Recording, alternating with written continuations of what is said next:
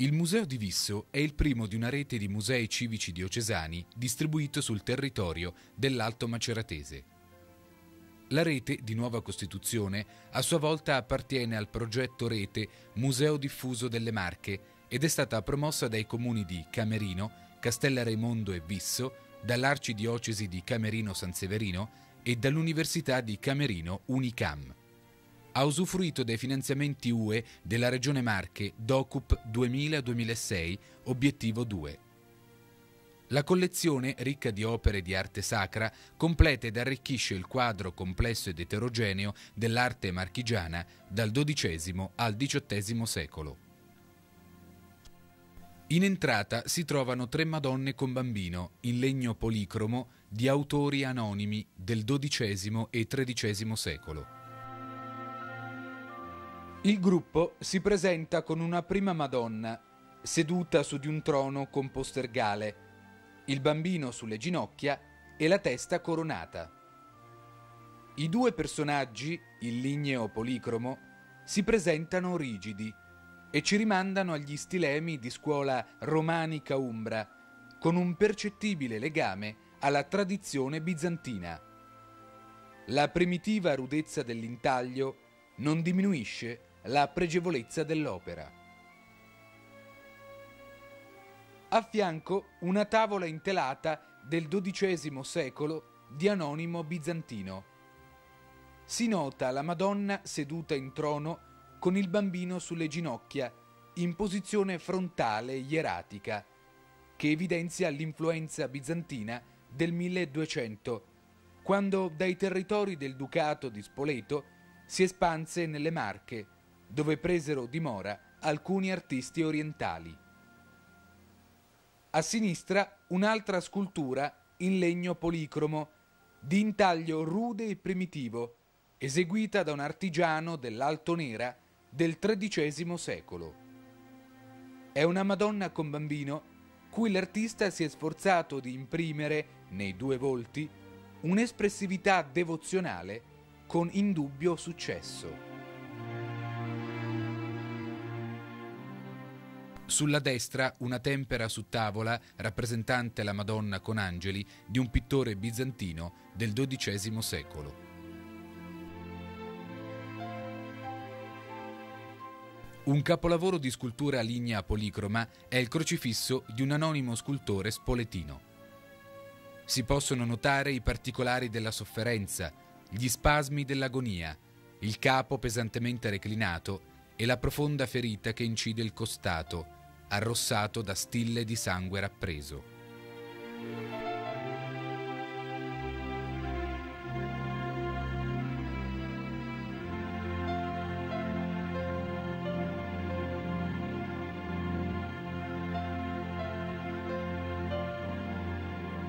Il polittico di scuola umbro-senese attribuito a Giovanni di Corraduccio risale alla fine del XIV secolo è costituito da due laterali con i santi Ludovico da Tolosa, San Francesco d'Assisi,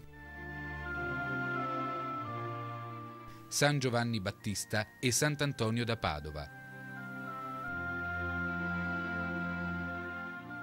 Si riconosce l'influenza del pittore senese Luca di Tommè che soggiornò nel 1370 in Umbria e nelle Marche nel particolare delle lunghe dita dei piedi che calpestano il suolo erboso.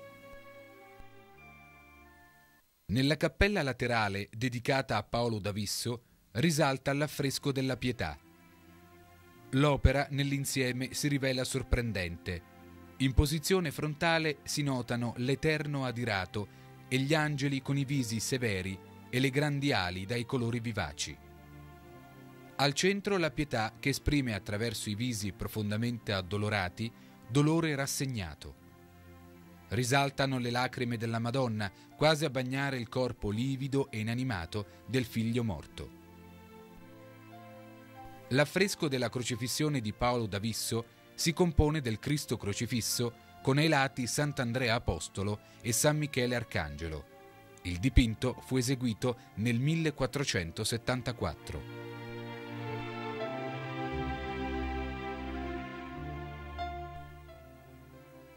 Uno stolone di canapa in ago pittura con sacre evangeliche del XV secolo.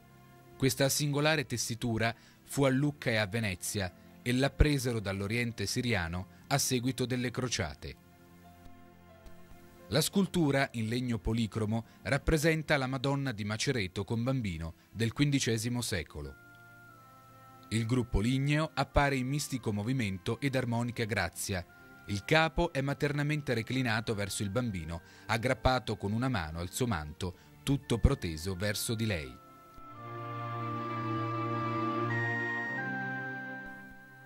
La statua della Pietà è opera di un plasticatore tedesco, appartiene al XV secolo.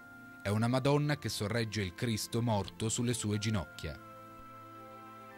La croce astile gotica, detta anche croce di San Marco, è in argento dorato con smalti, da datarsi tra il 1413 ed il 1435. Presente ai bracci angolosi che terminano i trilobi tramezzati da angoli retti. Nelle due facce sono sculture simboleggianti la chiesa docente. Domina al centro, seduto in trono, il Cristo maestro ed evangelizzatore che regge con la mano sinistra un volume aperto appoggiato sulle ginocchia. Sui quattro lobi della croce poggiati su mensole sono i simboli degli evangelisti. In alto l'aquila di San Giovanni, a destra il leone di San Marco, a sinistra il bue mansueto di San Luca, in basso l'angelo ascetico di San Matteo. Intorno al Cristo, su medaglioni applicati, sono incisi le immagini degli evangelisti.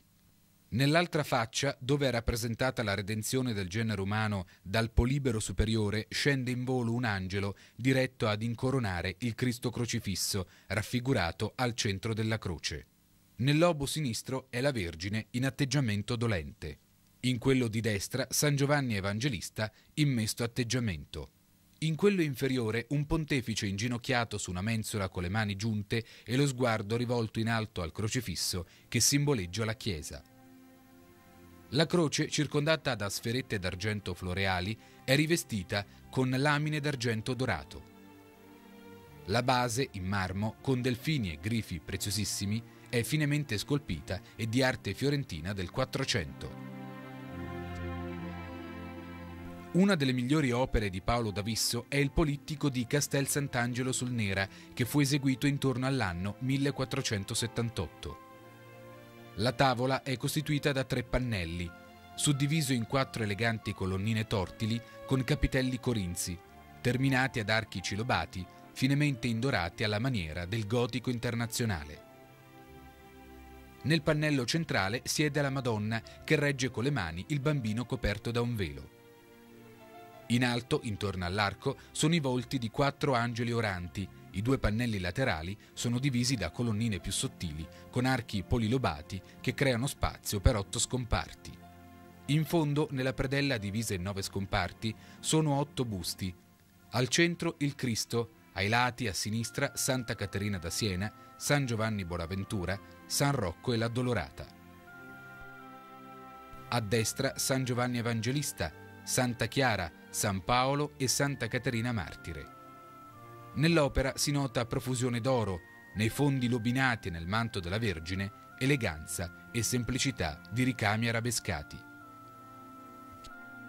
Sempre nell'atrio è esposta un'annunciazione di Giovan Battista da Norcia, tempera su tela dell'inizio del XVI secolo. La tela ci mostra un ambiente originale ed attraente. La Vergine ha un manto turchino inginocchiata presso il badalone l'angelo sfiora con leggerezza il pavimento indicando l'alto con la mano destra e porgendo un giglio con la mano sinistra. L'armonioso cromatismo, i bei volti dei lineamenti dolci sono ispirati al Botticelli nella Vergine e a Filippo Lippi nell'Angelo Annunciante. Di Gaspare Angelucci è la Madonna con bambino, San Sebastiano e Sant'Andrea dipinto su tavola datato 1538. La Madonna, incoronata da due vivaci angioletti, siede in un trono a doppio gradino. In braccio il vispo bambino che si protrae verso Sant'Andrea Apostolo con la sua grande croce e dall'altro lato il corpo vigoroso seminudo di San Sebastiano con le mani legate.